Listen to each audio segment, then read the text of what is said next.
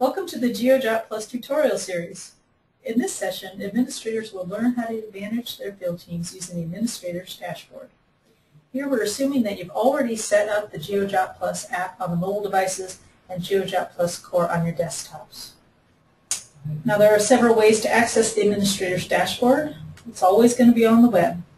You can access it from your reseller's login page, or in this case we're going to show you from the Geospatial Experts uh, homepage. Up there at the top you see the GeoJot Plus login. Click there, you'll be brought to the login screen. Here you're going to enter in the email that you used to get your trial in the first place. You can find that email in the confirmation that was sent to you with the serial number that you used to set up the app and the core. So go ahead and log in. Here's the welcome page. It has links to more information about using GeoJot Plus. When you click on the Serial Numbers tab, you will see the serial numbers associated with your account. In this particular example, we've purchased one serial number, but it can be used on 50 different devices. So 50 different apps or 50 different desktops at the same time can use this one serial number. Right now, this screen shows that of the 50, five are currently being used for the app and only one is currently being used uh, in the desktop. To see who those five are, you can click on the Activations button up above. And here, you actually see all the different people who have ever downloaded the app. On the left-hand side, it shows their name and their, then their email. The name and email are the information that was entered when it was originally activated on either the app or core. The status shows whether they're currently active or deactivated. You can sort by clicking that button so that all the activated ones are at the top. So from here you can see whether they're active. You can also see the platform that they're using so you can tell what kind of device they're using it on.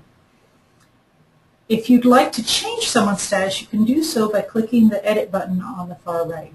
So in this case we're going to change Stephanie's activation. Right now it shows that she's active. That means right now she can go launch GeoJot, take photos, and, and all is good. When you click deactivate, you're essentially checking in the license, making it so that she won't be able to take photos right now, and you can now share this same activation with a different device. Could be on a different platform even. If she wants to use it again on her device, all she needs to do is click the activate button from the mobile device, and she'll be good to go. So this makes it really easy to share um, the activations across different devices and different staff at different times. And it can all be managed from the administrator's dashboard. That way, if someone forgets to deactivate a license when they're done, you can do it, making it more available. Now let's say Stephanie has left your organization and you don't want her to activate this device um, again at all. That's when you click Disabled. Once it's disabled, if Stephanie launches the GeoJot app and tries to activate it, it simply won't work because that machine code is recognized in the activations page and it won't allow her to activate until you go in as the administrator and you change her status from disabled to either deactivated or active.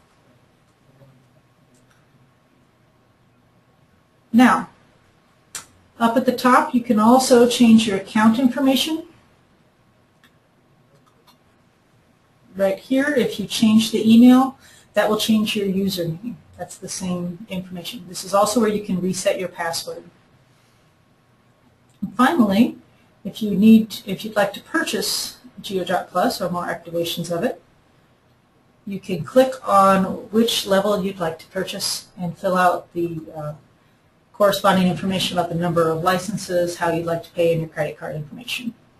If you'd rather use a purchase order, you can click the Contact Us screen and send the information to the dealer that you're working with.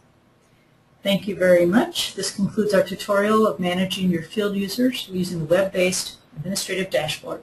We encourage you to review the other tutorials and learn more about GeoJot Plus's capacities. Thank you very much.